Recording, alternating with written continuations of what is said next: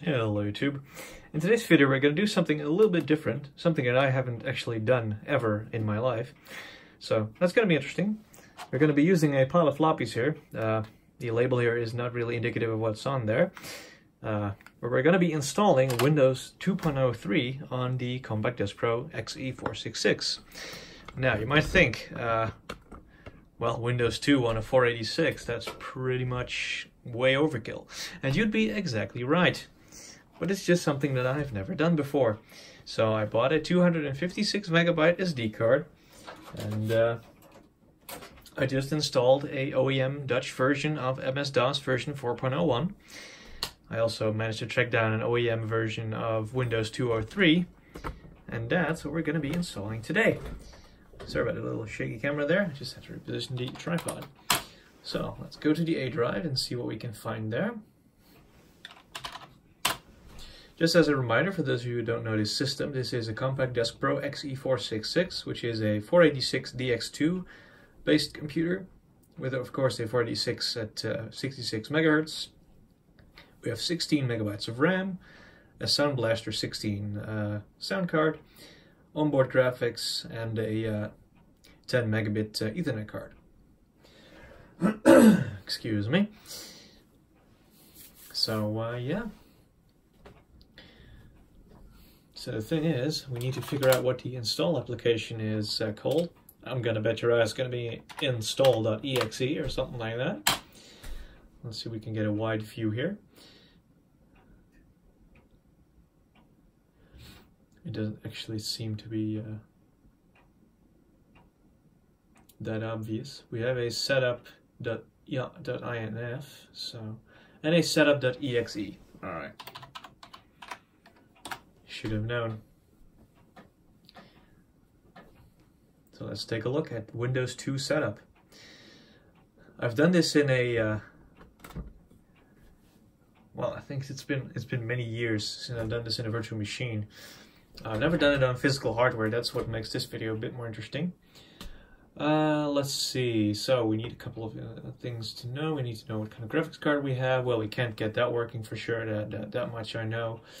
Uh, we do have a mouse that we can get working. It's a serial Logitech mouse, so that should be fine. We don't have any printers, so we don't need to care about that. Let's just hit enter and continue with setup. We'll be installing in the Windows directory, as usual. Uh, a Tulip PC or AT machine. Well, we're just gonna act like this PC was actually a Tulip OEM PC instead of a Compaq. Uh, let's see here. We don't have any of these.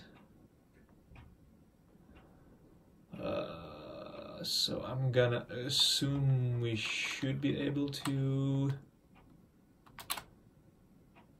get away with CGA, I think. We're just gonna try, if this doesn't work out, then you can definitely uh, start yelling at me.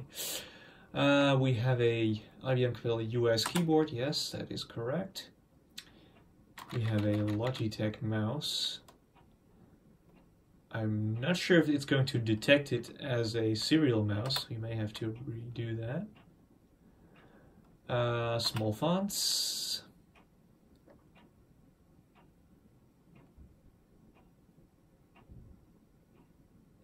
Uh, terminal for MS-DOS, medium font, uh, VGA, yeah, let's go with that. Let's go with that. Uh, that sounds about right. I think. Again, I have no idea. This is software from like 1987 to 1989. And uh, I wasn't even born back then. I was born in 1994.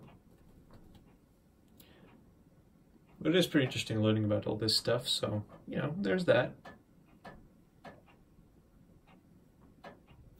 So I guess this is going to take a long time. Uh, I will skip ahead. I'll uh, go through the floppies, and once we are ready to do the first boot, I'll be right back. Well, something else popped up. We have to select our uh, localization files. And apparently we need disk 4 for that. Disk 2 is basically useless then because I just I put it in and immediately came up with that screen there. Uh, disk 4. Let's give that a shot then. Let's see what else we get. Now we need to put in disk 5. Alright.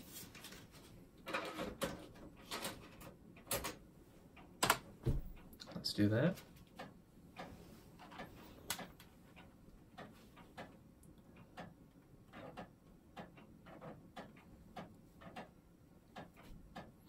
I'm almost willing to bet that our graphics are going to look super garbled and completely useless and we have to like reinstall Windows or something.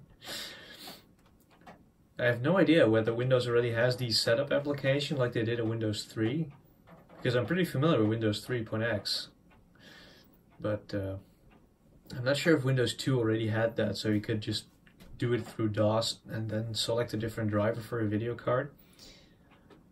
Uh, info.txt, no, I really don't give a shit. Thank you. And apparently we could already start going into Windows right away. Well, that would be lovely, wouldn't it? I just need to remove all the disks and organize them neatly.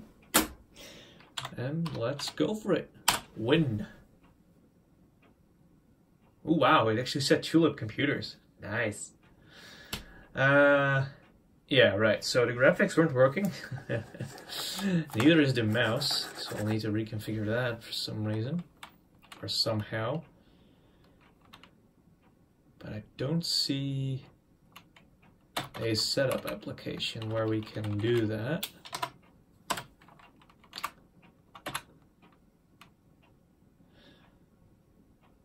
So, is there a menu where we can do that in Windows 2? Doesn't look like there is. So is this basically it when you don't have like VGA support, you just get black and white? Does anybody know? Because it's certainly new to me then. Um, so that means we can't really do anything here.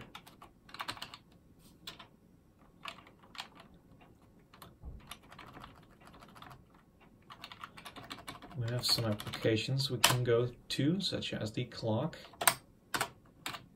Uh, kill that. We have a to-do. Apparently we can make a to-do list here in Notepad. Uh, that's not interesting at all. I really wonder if you can get at least color support going here. But maybe we can't. At least we can get out of Windows. Resolution also seems very much off. It doesn't really seem a resolution that this monitor particularly likes. I mean, this is a way too modern monitor anyway, so I guess that's alright. So what I wonder about is, no, there's no setup application, okay. So I guess um, I'm going to have to just try a couple things and see if we can get the, uh, the mouse and at least color support working, because that would be neat. That way we can properly test it on this machine. Uh, I'm gonna try a couple things and I'll be right back.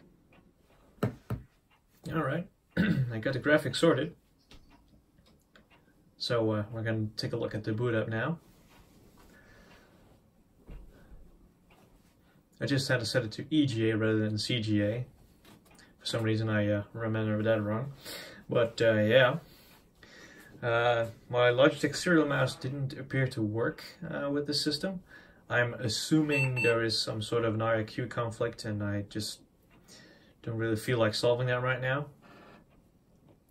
I remember uh, this machine having some issues with that particular mouse, so it's nothing new to me at least. So now we can type 1 and okay, go to Windows and type 1 and see the glorious color palette. And there we are.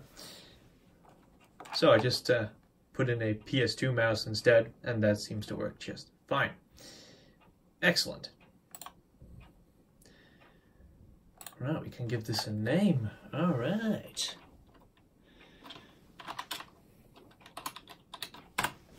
We'll just call it that. I'm fine with that. So now we can actually open things and take a look at how they look. So uh, yeah, this is definitely something I need in my life, a full screen, very low resolution calendar. Let's see, what else do I need? Well, I have an appointment on Monday at around that time. There you go, a job interview. It's a useless one because I already took another job, but uh, you know, this one has been planned for a long time. I just have to show up and uh, be nice. Um, let's see, we have the card file here Of course, classic Notepad. Notepad version 2.03, copyright 1987. We have 100% free memory. Well, yeah, this is designed to operate on systems like 1 megabyte of RAM or even 640k, and we have 16 megabytes. It is an insane amount for 1987, even unthinkable. So it's pretty nice. Uh, we have ms-dos.exe, I don't know what that does. We'll take a look at that shortly. Alright. Of course I have Reversi. We don't have that nice Ferrari from the uh, Steve Ballmer uh, that almost came commercial. We all know uh, which one we mean. Uh, let's play Reversi. I don't know how to play Reversi, and I think that shows because I'm losing badly. I have literally no idea how this works.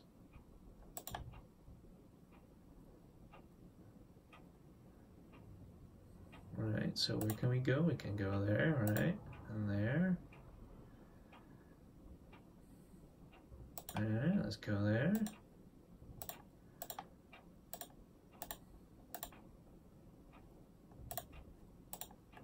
We can only put it where a cross is. Well. Yeah, I know, I know. Take it easy. Alright, so that's Reversi. Very nice. I really don't care.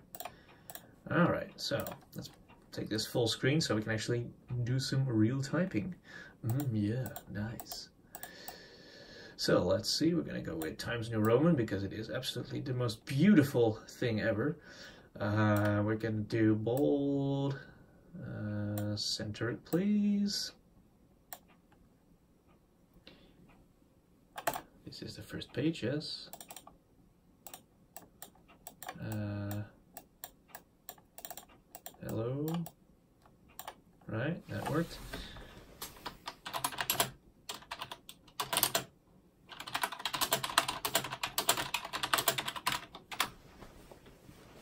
It does center it nicely, I have to say. Uh, yeah, let's keep it, no, let's do the lining on the side there. Uh, we're gonna make it not bold, not italic.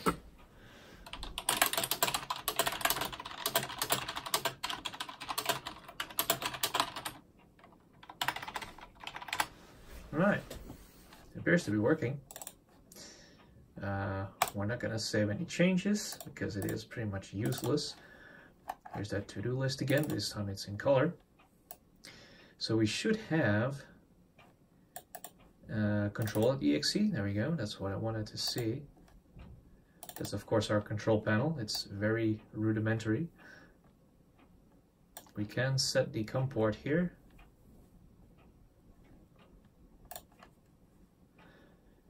It remembered the time and date, so that's nice. So it is indeed about 7 p.m. on the 7th of December 2018. That is very nice indeed. Uh, let's see, mouse acceleration, now we don't need that. We have such a low resolution. Uh, what? resolution is so low, in fact, that even it's it's even too low resolution for this in some cases. And mm, right, so this is also control panel 2.03. Yeah, good.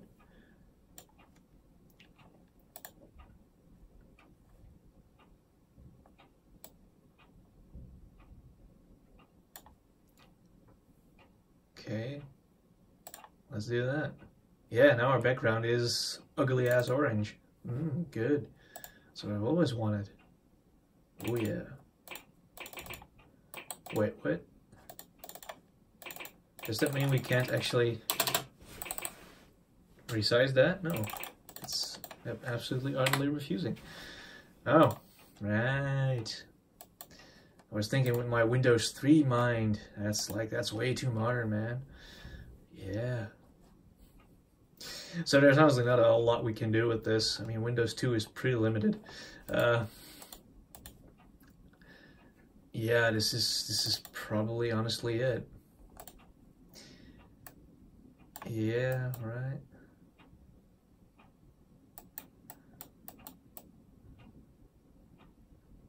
Apparently there was PCL support already in, in printers as old as the 1980s. Huh, that's something I didn't know.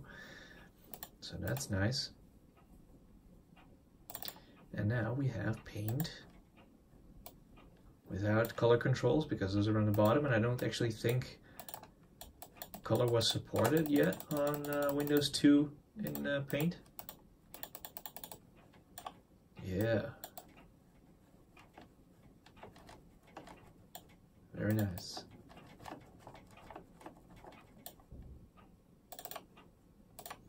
Well, I guess that's actually pretty much all we can do in uh, Windows 2 for now.